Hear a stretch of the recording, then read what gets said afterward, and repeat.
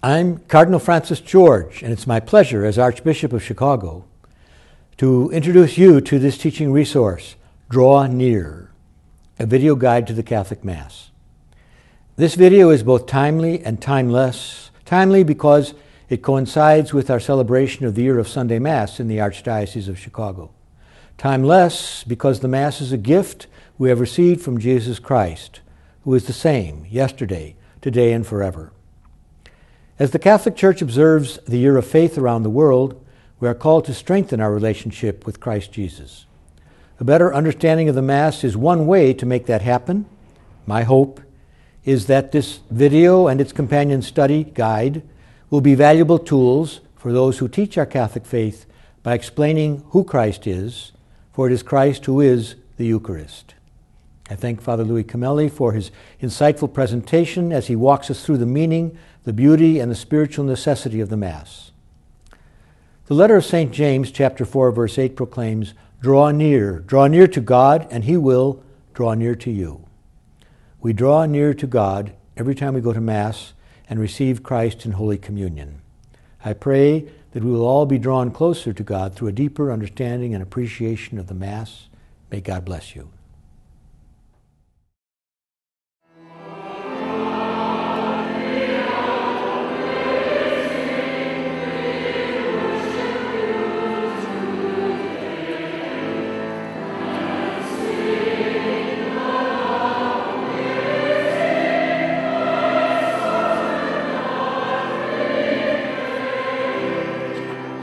One of the TV science channels offers a program entitled How It's Made.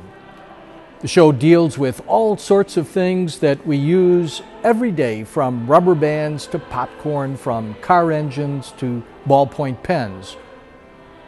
We learn how these everyday objects are made, and once we step back from familiar things and understand what goes into them, we see them differently and we appreciate them in a new way. As believers, as people of faith, it's very helpful for us to step back and take another look at what we believe and how we practice our faith. And when we think about the center of our faith, the Mass is right there as the source and summit of our Christian life.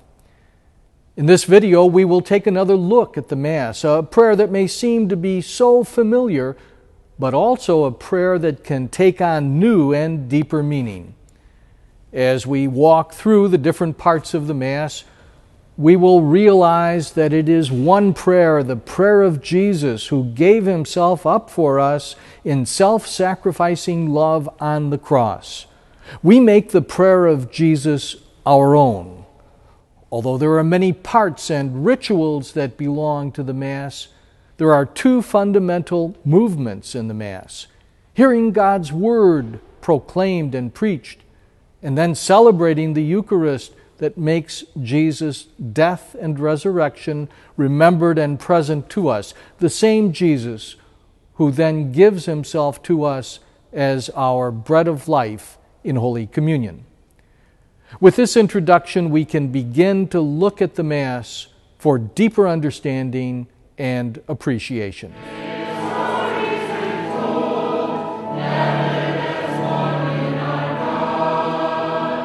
Mass begins with a procession of the priest, celebrant, and ministers who accompany him.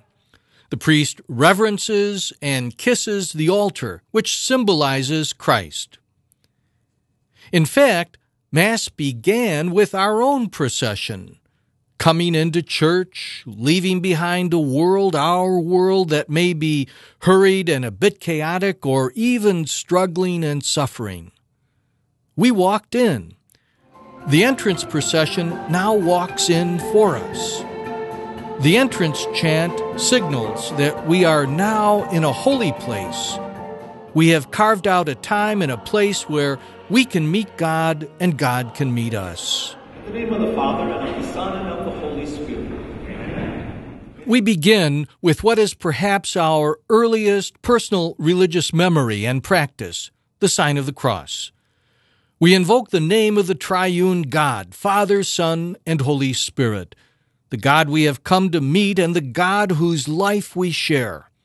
Our path to the triune God is the cross of Jesus, his sacrifice that will be made present in the Mass we are about to celebrate.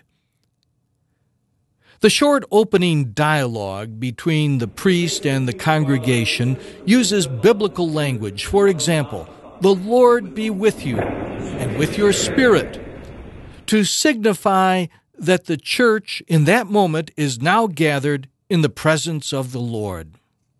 The penitential rite begins.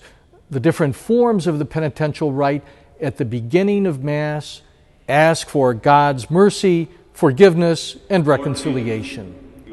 The prayers draw on pleas for mercy and forgiveness found in the Bible. The purpose of this rite is to enable us to worship God with a purified heart. Uh, Jesus, for example, says in Matthew's Gospel, so when you are offering your gift at the altar, if you remember that your brother or sister has something against you, Leave your gift there before the altar and go. First be reconciled to your brother or sister, and then come and offer your gift.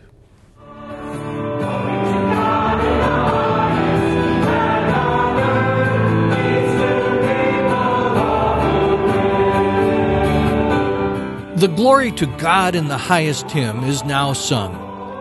It is also known as the Gloria and it draws its text from the Song of the Angels at the birth of Jesus. The words are found in St. Luke's Gospel, chapter 2, verse 14. The Gloria brings us to the praise and thanksgiving of God at the beginning of our worship. To be mindful of God's greatness and to live with gratitude not only describe our worship, but also an abiding awareness that ought to belong to every Christian life. Let us pray. Almighty ever living God. The collect, or opening prayer, as the name indicates, collects the prayerful intentions of the people who are gathered for worship. The opening prayer is compactly composed and generally includes an invocation of God a description of what God has done, a specific petition, and a conclusion that directs the prayer to the Father through the Son in the unity of the Holy Spirit. The collect concludes the first introductory part of the Mass. The second part of the Mass is the liturgy of the Word. Every act of worship in the life of the church is based on the Word of God that is found in the Bible. The Word of God is proclaimed, heard, and explained. God's Word leads us to celebrate the Eucharist. God's Word directs us to live our lives in a renewed and transformed way in the world. We are seated for the first two readings, a posture of receptivity. The first reading is usually taken from the Old Testament. In some way, it echoes a theme that is at the heart of the gospel of the day that we will hear shortly.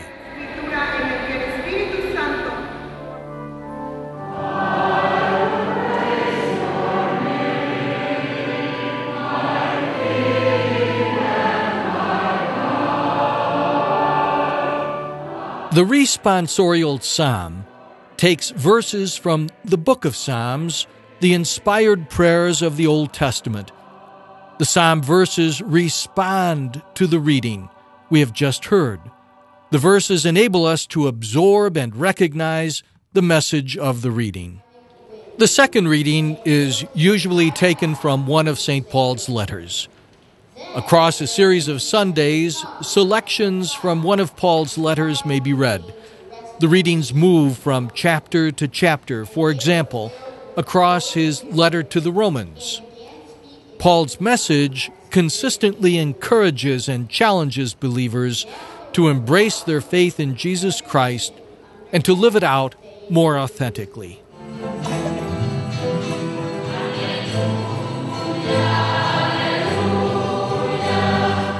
The Gospel Acclamation is usually a sung Alleluia, which means praise God. We stand to honor the gospel word that we will receive. The Lord be with you. A reading from the Holy Gospel according to John. The priest or deacon proclaims the gospel. First day of the week. When the There is a doors were locked three year cycle of readings from the Gospels. Year A for Matthew, year B for Mark, the shortest Gospel, which is combined with John's Gospel, year C for Luke. them his hands and his The selections generally represent a continuous reading, chapter by chapter, of the Gospel of the year. The Gospel of the Lord. Praise to you, Lord Jesus Christ.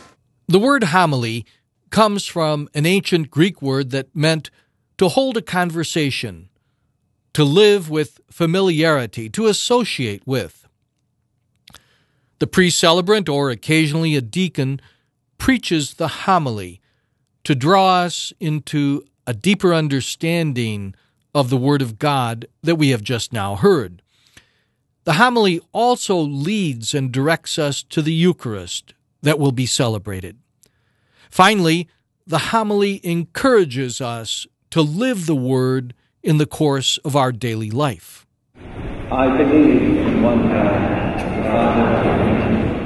the Creed, or the profession of faith, is a summary of the Church's faith initially formulated at the Council of Nicaea in the year 325 AD. In the early centuries of the Church's history, councils of bishops met to identify and articulate our faith in understandable terms. Our common profession of faith is a fitting response to the Word of God that we have just heard and received in faith. The prayer of the faithful, or universal prayer, concludes the second part of the Mass, the Liturgy of the Word. Prayer intentions are offered usually in four categories for the needs of the church, for public authorities in the world, for those in special difficulty, and for the local community. When we offer these prayers, we exercise our ministry as the priestly people of God. The liturgy of the Eucharist begins with the preparation of the gifts. The gifts include the bread and wine that will be used in the Eucharist, as well as the monetary offerings which we bring and which are used to support the church and care for the poor.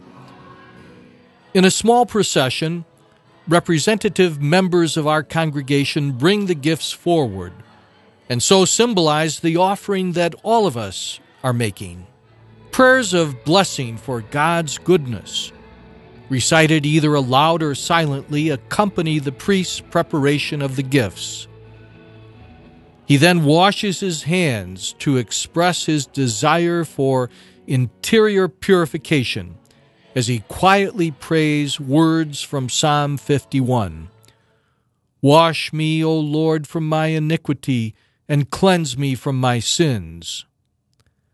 After inviting everyone to pray that the offering to God be acceptable, he prays the prayer over the gifts and concludes the rite of preparation.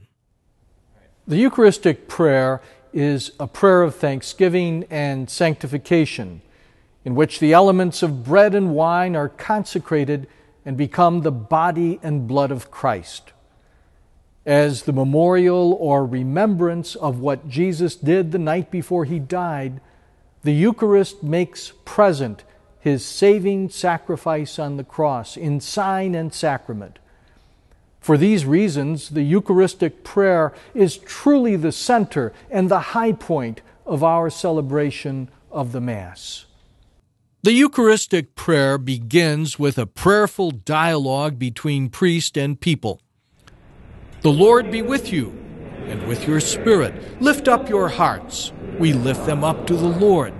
Let us give thanks to the Lord our God. It is right and just. Then the preface follows, a prayer often sung that gives us reasons for offering praise and thanksgiving to God. The preface concludes with the Holy, Holy, Holy, an acclamation that we say or sing. This acclamation is taken from the prophet Isaiah, chapter 6, and echoes the worship of the angels before the throne of God in heaven. Our celebration of the Mass certainly takes place on earth, but it is also linked to the heavenly worship of all the angels and saints.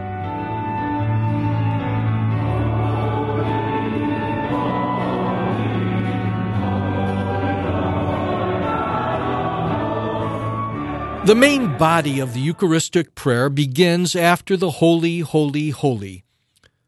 There are a number of different Eucharistic prayers, but they also share a common structure and direction.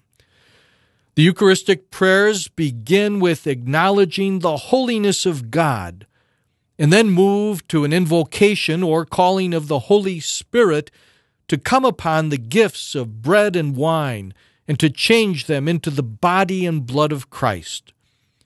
The priest extends his hands over the gifts as he makes this prayer, invoking the Holy Spirit. This is an ancient gesture always associated with calling the Holy Spirit, and it is also used in baptism, confirmation, ordination, and other sacramental rituals. The center of the Eucharistic prayer is the recitation of the words of institution, the very words which Jesus gave us the night before he died for us. This is my body, which will be given up for you. This is the chalice of my blood. The priest pronounces these words not in his own name, but in the name and person of Jesus Christ. Faith tells us that the reality of bread and wine becomes the reality of the body and blood of the Lord. Faith tells us that in this action, the sacrifice of Jesus on the cross is made present to us for it is his body given up for us and his blood poured out for us. After the words of institution, the Eucharistic prayer continues with a brief remembrance of the events that brought us redemption in Christ. Another kind of remembrance follows that links us to the universal church through the Pope and our local bishop. Finally, the prayer remembers the dead who have gone before us marked with the sign of faith. The Eucharistic prayer concludes with the doxology, or great word of praise.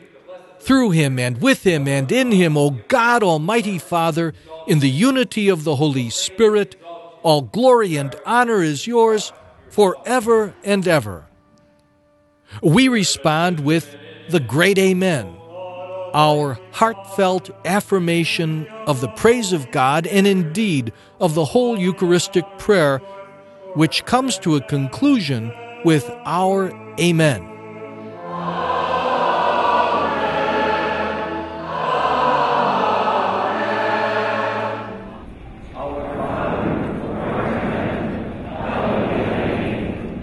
The communion rite begins fittingly with the Lord's Prayer, the prayer which Jesus himself gave us and which is found in chapter 6 of Matthew's Gospel.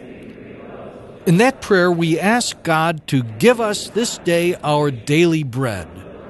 In fact, the Lord Himself will give us the bread of life, His own body and blood in Holy Communion. After praying for deliverance from evil and for the gift of peace, we are invited to exchange the sign of peace.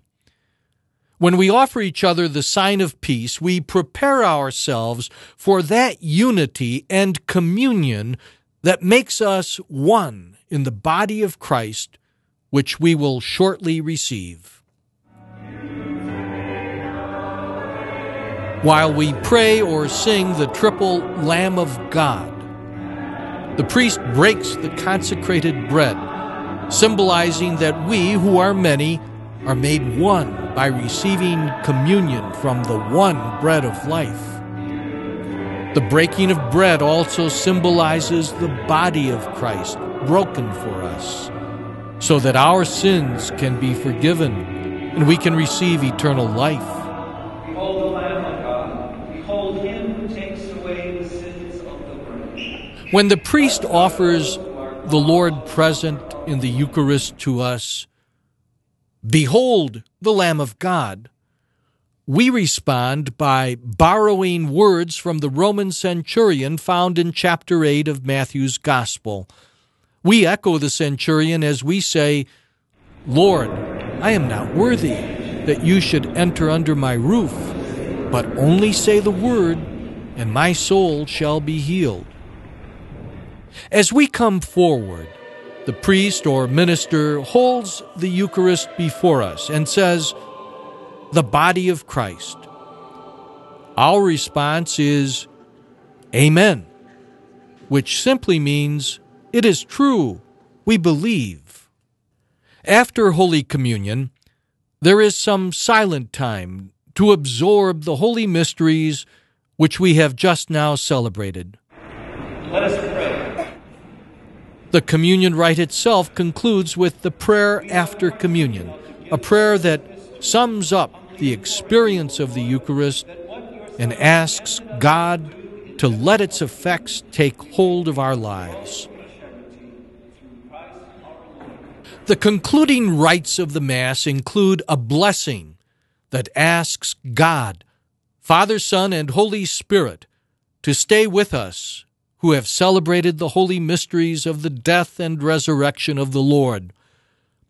The dismissal follows the blessing. It is a sending rite that encourages us to bring what we have experienced in the Mass to the world. Go and announce the gospel of the Lord.